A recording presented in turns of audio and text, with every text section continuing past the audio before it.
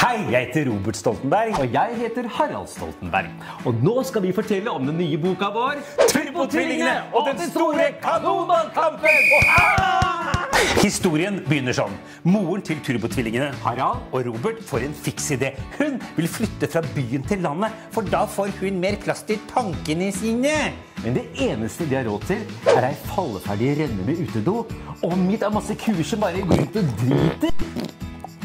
Turbotvillingene elsker å spille teater, men på den nye skolen så er det bare én ting som gjelder, nemlig kanonball! Skolens kretsmester og store bølle, som heter Sølvi, tvinger nærmest turbotvillingene til å være med på den store kanonballturneringa. Hei, tulletvillinger! Heldigvis kommer det over en magisk bok om kanonball på bokbussen. Og så får de hjelp av ekteparet på nabogården, Sigrid Rudolf, og en okse som er god til å nikke, pluss en løpsk møkkaspreder som